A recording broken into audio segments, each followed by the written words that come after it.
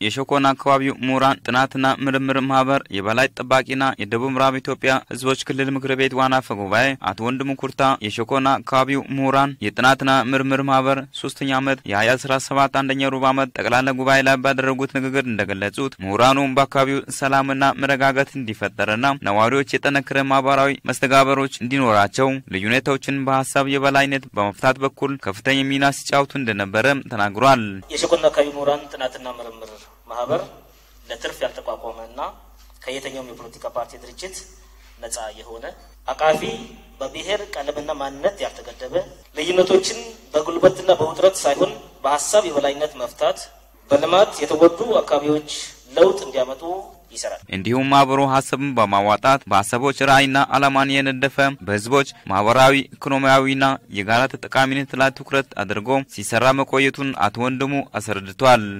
ሀሳብን በማዋጣትና ሀሳቦች ላይ ራዕይና ዓላማን እየነደፈ በህዝቦች ማህበራዊ ኢኮኖሚያዊና የጋራ ተጠቃሚ ላይና በተለይም ለረጅም ጊዜ ትኩረት ያልተሰጠውን የሸኮ ብሔረሰብ ባህል፣ ታሪክ፣ ወግና ቋንቋ ላይ የሌሎችን ወንድም ህዝቦች ክብር በጠበቀ መልኩ ይሰራል። በተለይም ማህበሩ ሀሳብን በማፍለቅ ለስራ መሰጠትን የሚጠይቅ ከመሆኑም ባለፈ ለማህበሩ ምቹ የስራ አካባቢን ከመፍጠር አኳያ ትኩረት ተሰጥቶ ሊሰራ እንደሚገባ አቶ ወንድሙ አስገንዝበዋል። የምሁራኑ ማህበር ከተመሰረተ ሶስት ዓመታት ውስጥ በባህል፣ በታሪክ፣ በጸጥታና በአንድነት እንዲሁም በልማት ላይ በርካታ ተግባራቶችን ሲያከናውን መቆየቱን የሸኮ ወረዳ ዋና አስተዳዳሪ አቶ አሪ ጉርሙ ተናግሯል።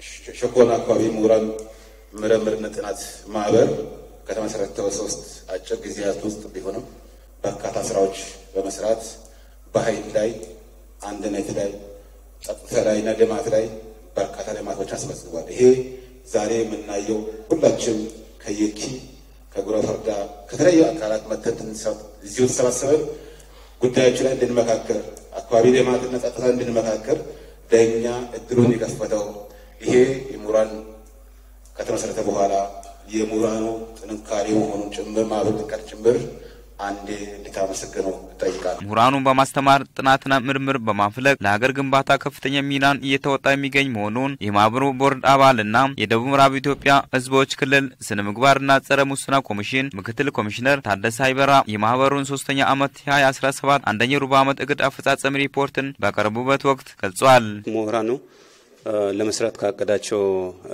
ስራዎችና የምሁራን አልማ ተግባራዊ ከማድረግ አንጻር የተሰሩት ስራዎች አሉ።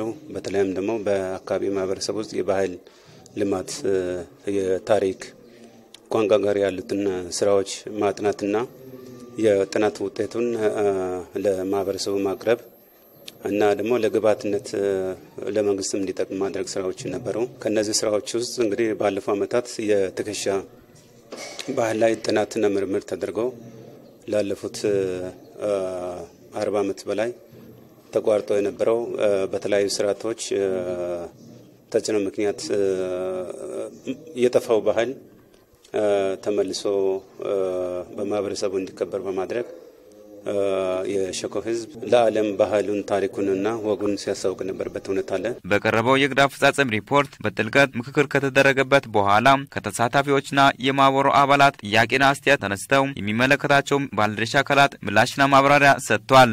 የሸኮና አካባቢው ምሁራን ጥናትና ምርምር ማህበር በሸኮ ወረዳ ዋና ጽሕፈት ቤቱን በማድረግ በጉረፈርዳ በቴፒና በአዲስ አበባ ማስተባበሪያ ጽሕፈት ቤት እንዳለውም ተጠቁሟል። የሸኮ ብሔረሰብ ዘመን መለወጫ ትከሻ ቤንጊ የሚከ በርበት ቦታ የገበያ ማዕከልና የወጣቶች ማዘወተሪያ ስታዲየም የስራ እንቅስቃሴን ተዛዙሮ በመጎብኘት ተጠናቋል።